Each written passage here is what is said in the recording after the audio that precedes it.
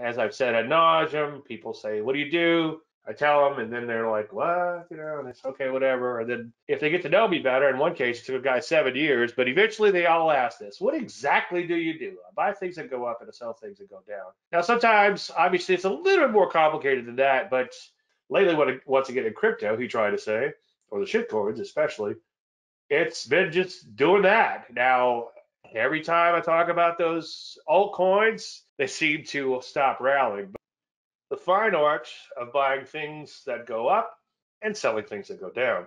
I do all my own artwork, in case you're wondering. What do you call those things where they actually like take a picture of this and sell it or something? We should uh, we should do that. so let's talk a little bit about these shitcoins.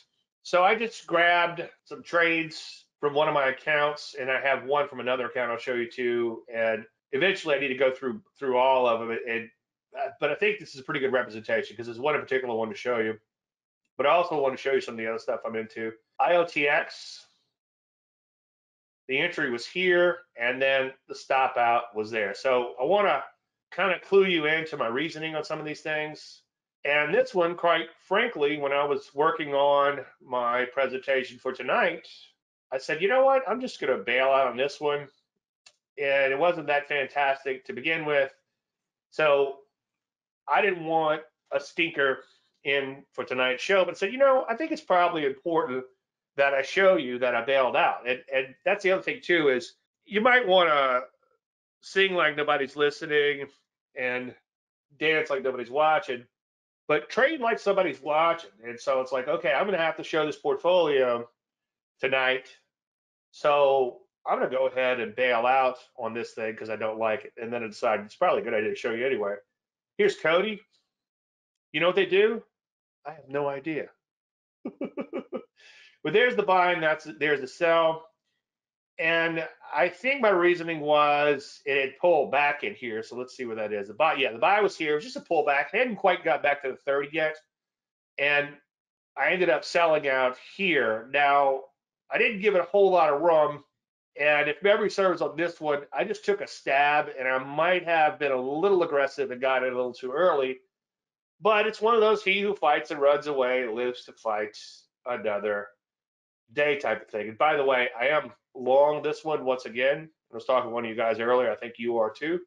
So I hope, I hate to use that word, but I hope and I think we're going to do okay. Let's just see. I hope we do okay, I should say. Here's another one. That's kind of mediocre on this one and the entry was at 11:07. I stopped out at 10:60, or just flat out exited it. And it wasn't a fantastic relative strength type of play. And the, the point is, in some of these that I'm showing you, the relative strength plays, and we're going to go look at them live in a few minutes and see what we can find. But in this particular case, I got in there and I was out in a couple days, and I think I might have made a couple of pennies on this, but not enough to brag about. And the other thing was, and this is probably the best thing to show you, but it maybe shows that there's a little human nature in me and like, what the hell, you know, let's just give it a shot. But it wasn't fantastic. And it was improving though. The RS was pretty good. And I had some leftover money because my portfolio was was nearly filled with slots, so to speak. And I had half a slot left. And instead of just sitting on that half a slot, I was like, well, this one's kind of strong. Let's just for S and Gs go ahead and make that trade. You got to be careful with that S and G kind of trading because you can get into trouble really, really quick. But I figure, what the heck, you know, when the, when the crypto's really running, it's worth doing a little S and G stuff. So here's the Atom 3876, and I got out at 3793. Notice something? Well, that's I got in less than what I got out. So I bought back here, and then I ended up bailing out on it here. And my reasoning was I sold it based on Prettier Girl swapping. And I bought back while working on these slots. Bought back. Oh yeah, bought it back. So while I was working on this, they had a big rally in Atom, ATOM, and then I bought it back. But at the time when I sold, it was a it was a case of well, let's put together the best team we have. Now, keep in mind, relative strength trading, and we're not we're not using an indicator. Okay, it's not RSI or something like that. It's just the strongest and the strongest rated by day over day change, and also by looking at the charts. Is and sometimes what you'll do is you'll just say, okay, well this one's up the least or not up much from where I got in, but these other ones are really running. So I'm going to get rid of this one and we might be back in it tomorrow, but I'm going to get rid of it for now and go out with a prettier girl or a guy, whatever you prefer. And if you prefer both, as Dennis Miller says, you're a greedy bastard. So I did get back in here because I thought it looked kind of interesting. Now it's not a perfect setup, and I'll show you a more perfect setup. And when we go through the live charts, we'll see what we can find. Hey, Big Dave, you kind of suck. Why should it be impressed? Yeah, pretty much every trade not too impressive. Well, channeling Churchill, trading is going from one failure to another without any loss of enthusiasm. By the way, most of these were put on last Saturday and Sunday, and I did put those portfolios out last week, just so you'll know, just in case anyone's saying, hey, Dave, this is all in hindsight. Well, so far, you're not impressed with this hindsight. but as Churchill said, trading is going from one failure to another without any loss of enthusiasm. And I think that's why I'm a good cryptocurrency trader for now. And I was talking to one of you guys earlier, and you're like, you know, I'm going to put a lot more money into crypto. It's like, eh, you know, you can make a lot of money in these things without having a lot of money in these things. And, and I tell you what, I'm, I'm getting that bug too, where I want to throw real money at it as opposed to this play money. But I think that once you start doing that, it begins to change a little bit. So what I'm trying to do is grow a small account and remain flippant in it because it's like, okay, I'm not playing with the, you know, the grocery buddy or whatever I need. This is just shits and giggles type of stuff. But again, trading is going from one failure to another without any loss of enthusiasm. And again, there's the mental capital in that. There's also an actual capital, but the mental capital is the most dangerous because what will happen is without, if you're in the wrong state of mind when that opportunity comes along, you're not going to be there to take it. So I got into this one on the 3rd of October. What day was that? Sunday, I think. Sunday, Sunday, Sunday. And I was out the next day of half for a quick little flip. Now let's take a look at that. So I bought here. Why? Well, it's going up. Okay.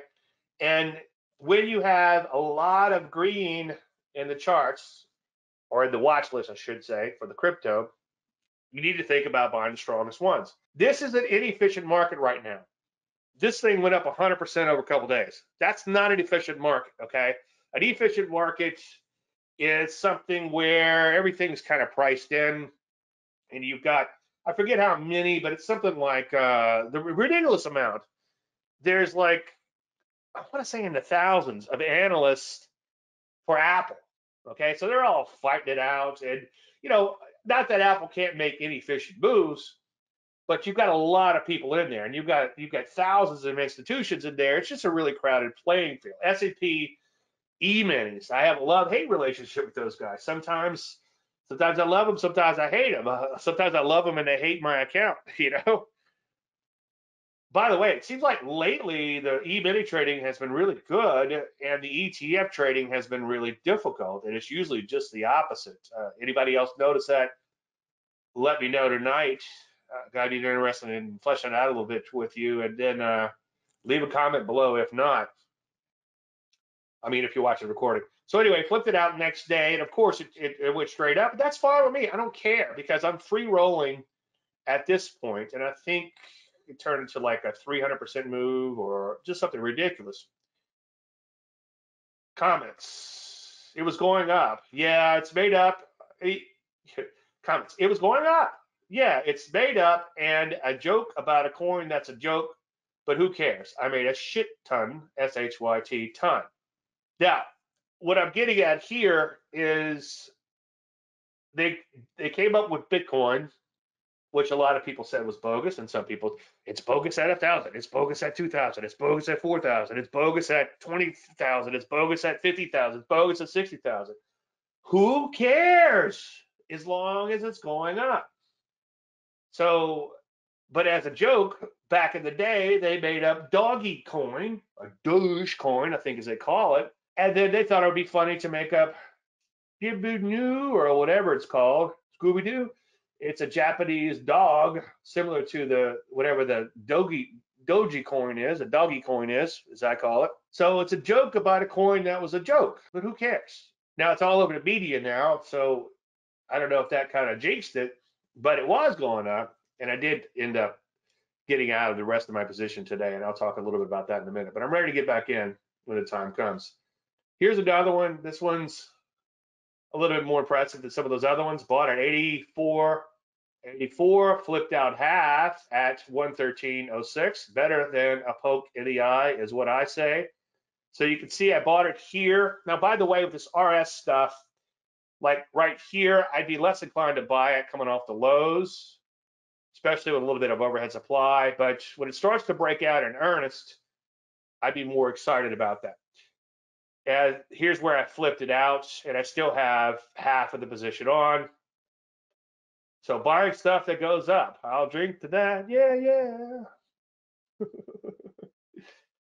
the question is, hey Dave, ETF trading difficult how? Well, I do some intraday and probably too much intraday ETF trading where I'm, I'm looking to get in, and usually I try to focus on. It seems like if I get outside of these four, I get in trouble. Lab U, Lab D, four pairs. Uh, pairs. My coonass just slipped out. Pairs. Gush and Drip. You don't sound like a coonass. Stick around a while. It'll come out. SOXL, Socks S, and Lab D and Lab U. And I figure if I can't make money on those, then I'm not going to make money by adding in more pairs. And every now and then I'll, I'll add, you know, I added in, uh, what's the financial one? FAS, FAS, and FAZ. And uh, I got burnt this week doing that. So why is it difficult? Well, it's just the markets have been choppy and full of whipsaw lately. And maybe the reason ETFs of the uh, S&Ps have been easier is because that market is always choppy and full of whipsaw, but the swings have been big enough, big enough to capitalize on the swings and the whipsaw. So anyway, this is FTM, and you can see I bought it through a different account and let's see where the buy is. So bought it, sold it at the market here, and then it was originally bought at the market here. And I bought it because it was going up. Now it's also a bit of a, kind of a pullback to the EMA, a little bit, quite a few days in the pullback, but I did like the fact that it was going up. By the way, this is like a more cleaner setup back here, and I might have gotten in here and then stopped out but it's still kind of set up as a bigger picture pullback. And if you get that nice RS move, then it might be worth a shot. So I did cash out of half of that one. I guess that was yesterday. And then today, as I'm putting together my slides, I was pleasantly surprised to see it was it was there.